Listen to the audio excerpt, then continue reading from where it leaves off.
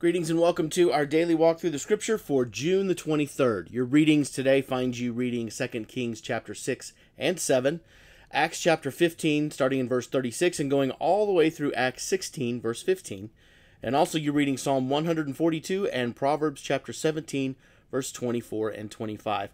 Now in Acts chapter 15 we have uh, one of the uh, really I would consider it a tragic story when you first read it but then, as you look into it a little bit deeper, you discover that God sometimes does things out of our own folly and out of our own um, mistakes.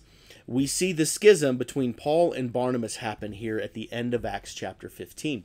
And it all starts because of the relationship of one person, a guy by the name of John Mark, who happens to be Barnabas's cousin. John Mark, if you remember, had been with them in the book of Acts, and then at some point he split with them and he left and he did not continue with them. We don't know the reasons why that is, uh, but we do know, however, that Paul didn't receive it very well based on this conversation that happens between Paul and Barnabas. And it causes such a strong disagreement that Paul and Barnabas, this amazing preaching team, split. Now, at that point, you might read it and go, oh, well, you know, there there it goes. The dream team is over. The dream team is done. And and you might think that, but the reality is is that God takes our own humanness sometimes and uses it for his glory. And in the case of this, Paul continued on his journey and that's the one that we follow, and we discover that Paul adds some additional companions to his trip.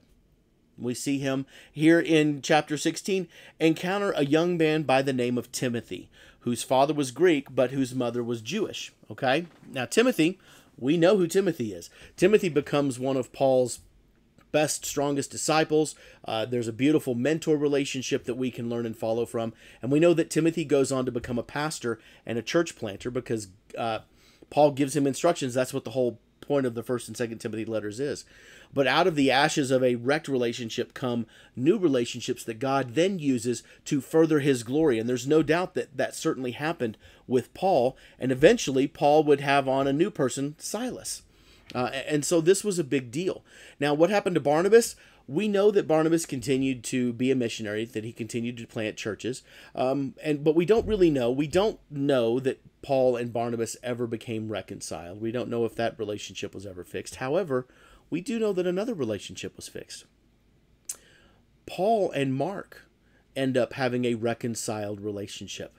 Um, we know that that in some of his later letters, Paul comments to how John Mark has is useful to him and useful for advancing the kingdom of God.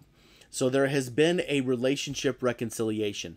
Whereas Paul might have looked at John Mark as a liability or a man lacking in character or integrity, um, God's grace abounded, and over the period of time, John Mark obviously proved himself to be not what Paul thought he was. Whether this came as a result of maturity or as a result of of whatever, um, Paul and Mark become reconciled. This is important for us.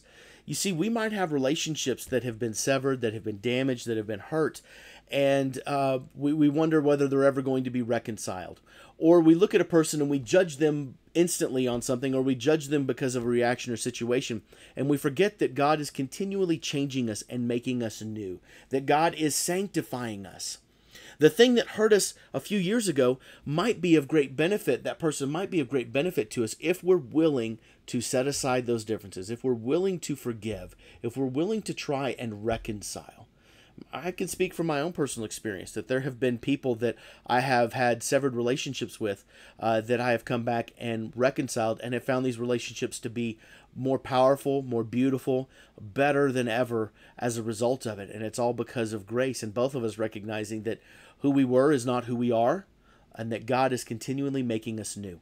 And so these are important tools for us as followers of Christ when we lead with grace when we lead with these things, we recognize that, you know what, time really can heal all wounds, but more importantly, God can change lives, which then a result, as a result heals those wounds because we are not the same. Thank you, Lord. Okay, that's it for our conversation today. We'll talk more tomorrow.